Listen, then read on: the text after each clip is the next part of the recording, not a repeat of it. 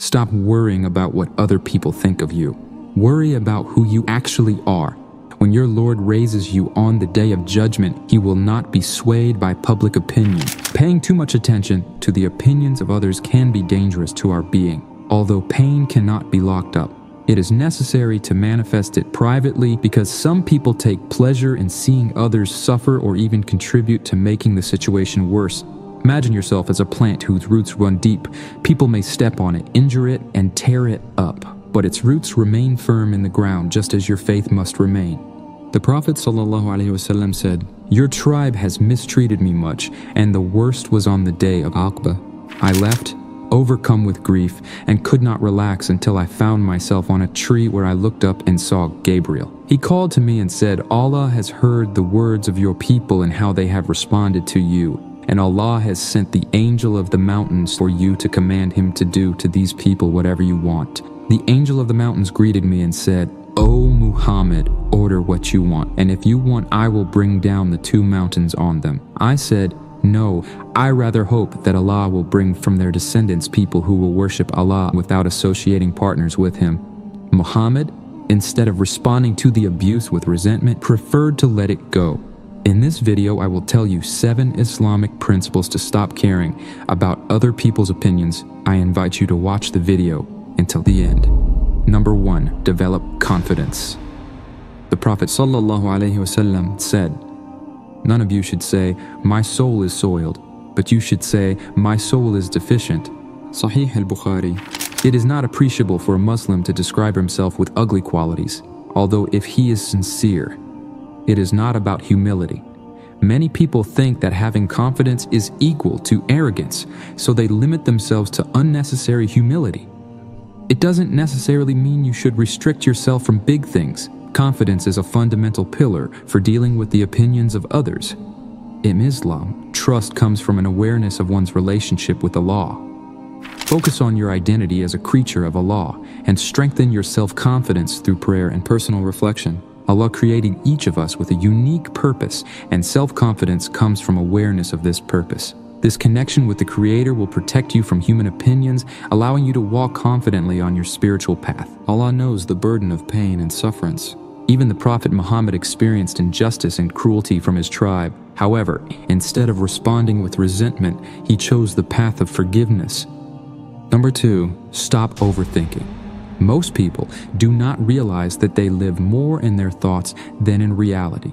In the process, they create an imaginary reality, often influenced by fears. Islam encourages reflecting wisely, but overthinking can lead to an uncontrolled flow of thoughts that could be harmful to inner peace.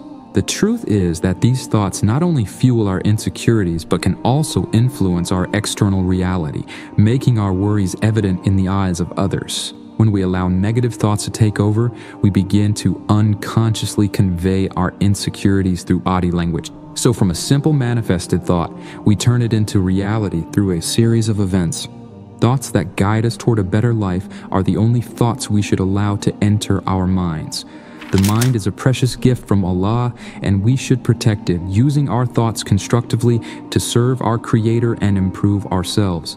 The Quran explicitly says to turn to positive and constructive thoughts. In Surah Al Baqarah, Allah says, And take provisions but indeed, the best thing is the fear of Allah. And fear me, O you endowed with intellect. This verse emphasizes the importance of feeding our minds with awareness of Allah. When our attention focuses on thoughts that reflect wisdom, we can avoid overthinking meaningless concerns. Even when you perform your tasks to the best of your ability, it should be wisely understood that the outcome of events isn't meant to be in your hands.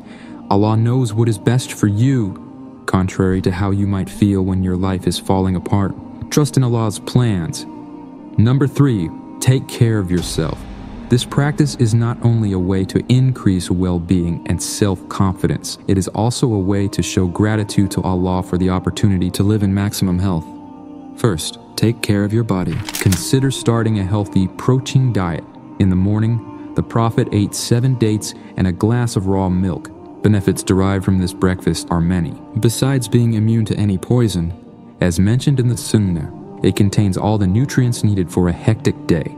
Dates have also been shown to contain antioxidants, which contribute to the immune system. For the rest of the day, eat enough protein and drink plenty of water, all in moderation.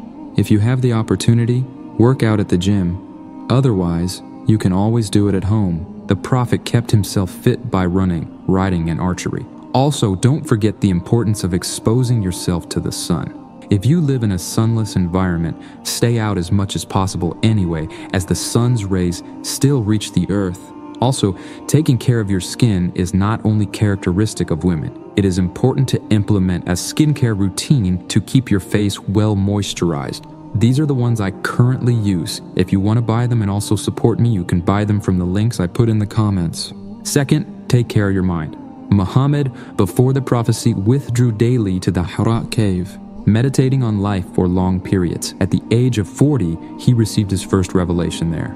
Although today the practice of meditation is sometimes associated with Eastern traditions, it is important to recognize that Islam also embraces contemplative practices. The act of reflection and meditation is known as tafakkur. To begin practicing it the right way, you should find a quiet place free from distractions. Close your eyes and begin to feel your deep breath. Your breath is the most important thing because it comes directly from Allah's will. Once you get maximum consciousness, visualize your thoughts, but do not respond with the little voice in your head. Observe and do not comment. After you get control of your mind, contemplate on the greatness of Allah's creation. And if you get distracted, start again. Do not put too much pressure on yourself in this practice. Initially, you will find difficulty, but that's normal. Consistency is the key, and you will see the results. Number four, understand your position in the universe. Do you know when on certain days you feel a void within yourself? This happens when an individual knows neither himself nor his position in the universe. What do I mean by position? According to Islam, man was created in his best form with both inner and outer beauty and potential. Despite his insignificant position in the universe, his value is equal to it because Allah willed it. Human beings have the ability to speak a language with the use of words. God endowed mankind with this ability, and this indicates that God's teachings are related to knowledge. Humanity loves to use symbols and ascribe meaning to them.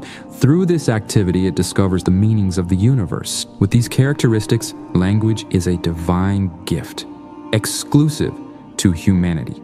Humanity has great potential to be perfect and contribute to justice and harmony in society. Islam aims to help man realize his potential and become a perfect man.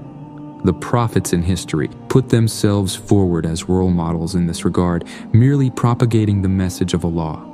Islam denounces worldly pleasures to some extent without ignoring life, health, and inclination to worldly pleasures. Allah sent us the Prophet to produce the best exemplary human conduct. He never aimed to transform the nature of human beings into angels. Rather, he recognized human nature and established Islam in a way that satisfied the dunya and akhirah.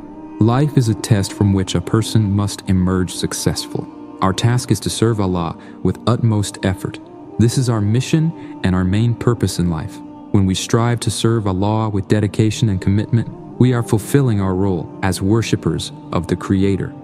Allah created us with a purpose, and our existence finds meaning in trying to fulfill that purpose through obedience. Allah has endowed us with free will. Our task is to use this blessing to draw closer to Him by performing actions that benefit ourselves and others. Many people misunderstand the fact that we do not have free will since Allah has already accounted for the final destination. This does not mean that whatever we do is useless to change our destiny.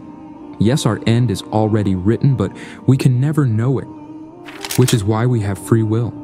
Now that you have delved into this information, do you still think you can be hurt by the opinions of others? Number 5 remove negativity from your life. As mentioned earlier, there are choices that we make with free will. However, some things happen beyond our control. It is up to us to decide whether to react positively or negatively to these unforeseen circumstances, thus turning our approach into a manifestation of our true inner power. The real challenge lies in maintaining serenity in the face of Allah's plans without losing trust in Him. To maintain a positive outlook, it's essential to eliminate any kind of negative influences from the people around us, as these influences can have a direct impact on our mindset. Positivity also comes from carefully selecting the people with whom we share our time and energy. Removing the negative mindset requires a constant commitment to the practice of self reflection. Prayer and spiritual connection with Allah can provide the inner strength needed to face challenges with optimism. Every morning, before you wake up, get up and say, Alhamdulillah, I am still alive. This simple act of will connect you with the gift of life and help you start the day with a grateful heart. The practice of gratitude is a way to recognize the blessings we often take for granted, thereby strengthening our positive outlook. Avoiding indulging in unnecessary arguments is an extension of this practice. Arguing with people just to prove your point is right is just a waste of time and energy. Whenever we have these kinds of arguments, our mission is simply to prove that we are right and the other person is wrong. In this process, our mind constantly produces negative thoughts about our opponent and this creates hatred between us. However, in a discussion of high importance, such as when it is necessary to defend one's religion, the perspective changes. In such cases, our mission is not just to prove the superiority of our point of view, but rather to defend truth and justice. In the context of a discussion of high relevance, it is essential to maintain a respectful tone and focus on the constructive presentation of one's ideas without feeding negative feelings. This approach not only allows one to defend one's faith effectively, but also helps to preserve positivity. Number six, embrace patience and tolerance. Patience is a power in Islam, an incredible quality that helps us face any moment in life, making us unwavering. In Surah Al Baqarah, you who have believed seek help through patience and prayer. Verily, Allah is with the patient. This statement teaches us that patience is not only a virtue, but is a means by which we can seek divine support. In the challenges of life, patience becomes a kind of connection with Allah. Being patient does not only mean passively enduring adversity, but also involves active engagement in the pursuit of good. In this way, Patience becomes a manifestation of our love and submission to Allah, making us stronger in the face of trials and more aware of His nearness. Unfortunately, in the younger generation, society often promotes the expectation of quick and immediate results.